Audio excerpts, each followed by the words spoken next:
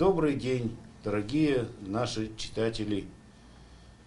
Сейчас я хочу рассказать вам о новых книгах. То, что раньше было только на бумаге, теперь доступно и в электронном формате. В читальном кабинете Иркутской библиотеки для слепых появилось два рабочих места с компьютерами и специальными дисплеями.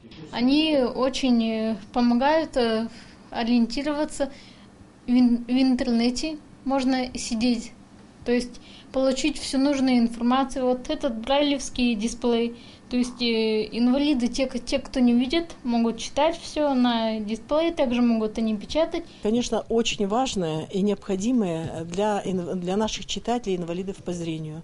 Вот благодаря этому оборудованию мы можем обслуживать на более высоком уровне наших читателей. А читателей здесь без малого две с половиной тысячи, причем половина обслуживается вне библиотеки. В фондах учреждения хранится более 20 тысяч книг. Из них 5 тысяч написаны шрифтом Брайля, остальные крупным шрифтом. Есть и аудиокниги на флеш-картах. Их можно прослушивать на специальных плеерах. Библиотека востребована, здесь очень много мероприятий, сюда приходят люди и Здесь очень э, гостеприимный персонал, и мы бы хотели, чтобы все жители области знали, что кроме того, что библиотека обслуживает население города Иркутска, она обслуживает население Иркутской области. Новое оборудование куплено на средства, выделенные по областной программе поддержки людей с ограниченными возможностями. Доступная среда. Она действует в Приангаре с 2012 года. На ее реализацию в региональном бюджете предусмотрено почти 240 миллионов рублей.